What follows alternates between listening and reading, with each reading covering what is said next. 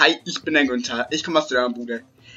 Wir sind inzwischen heute bei einem Viertel der Adventszeit. Der sechste steht an. Und drei weitere Turbo-Start-Packs.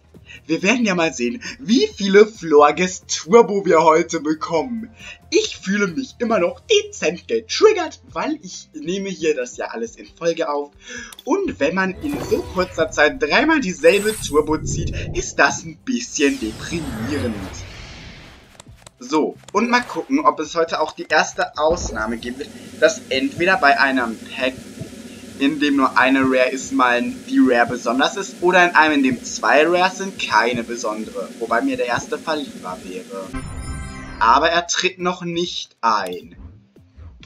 Denn ähm, jetzt kommt ja erst wieder ein Floor... Oh, zwei Rares. Das heißt, es kann da sehr wahrscheinlich... Oh, cooles Artwork.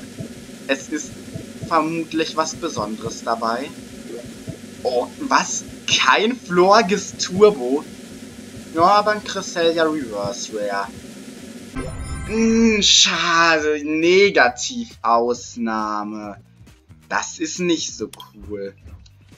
Ja, dann das letzte Pack für heute. Wird etwa Nikolaus der erste Tag, an dem ich keine Geschenke bekomme in diesem Adventskalender?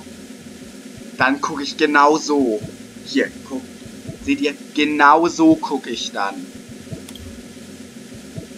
Eine vorbestellte Fahrkarte. Und... Wir sehen uns nächstes Mal wieder.